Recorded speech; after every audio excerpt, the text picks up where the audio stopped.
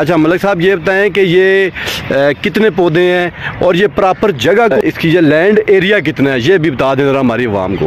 ये सरफराज भाई जो जगह है ये हमारा जो कम्युनिटी सेंटर है बिल्कुल इसके साथ है इमाम बारगाह है साथ ये जीन एंड टू के जो A G P R block हैं उनके पास है।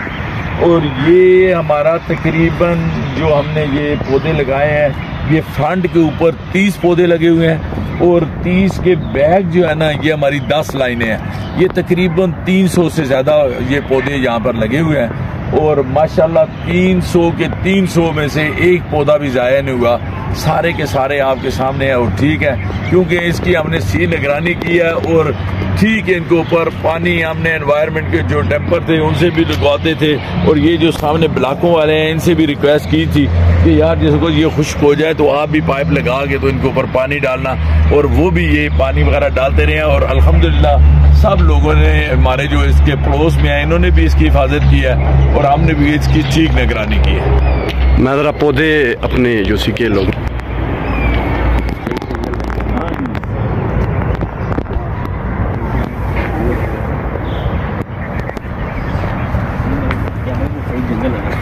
ये देखें जी आपके सामने। छोटे वाले पौधे ना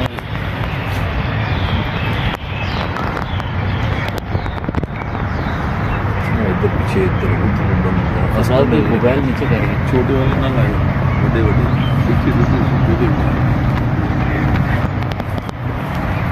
बहुत है। बस एक लंबी इधरों का और। हाँ ऐसा। भी गन्ने नहीं ना बनाने